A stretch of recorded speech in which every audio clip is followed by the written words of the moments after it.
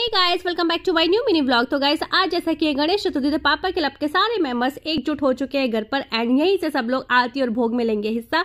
And आ चुकी हूँ आज जैसे कि मैं शॉप पे रथ यात्रा के लिए और बन चुकी हूँ बच्ची। मुझे ये वाला खिलौना वाकई बहुत पसंद था।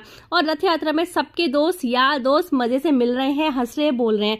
तो गाइज़ यहाँ से शुरू हो चुकी है हमारी पहली झांकी और ये है हमारी शिव पार्वती जी की झांकी जिसमें कि गणेश जी अपने माता पिता की परिक्रमा लगा रहे और साथ साथ हम ठहरे भुक्कर लोग तो हमें दाल का पत्ता चाहिए, खाने के लिए।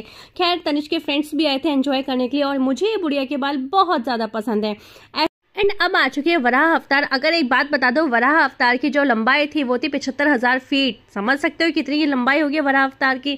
और उसके बाद आई थी अर्धनारीश्वर वाली झांकी, जो कि बहुत गजब सुंदर थी और चूहे वाली झांकी मुझे बहुत पसंद आई थी भाई साहब। लेकिन मुझे ऐसा लग रहा था कि जितनी सुंदर सुंदर झांकी थी, बहुत फास्ट फॉरवर्ड मोड में हमारी दुकान के आगे से निकाली जा रही थी। शिव, एक बात और दिखा दो कि हम ही लोग क्रेजी नहीं थे। ऊपर छत पर देखो, ये भी क्रेजी है।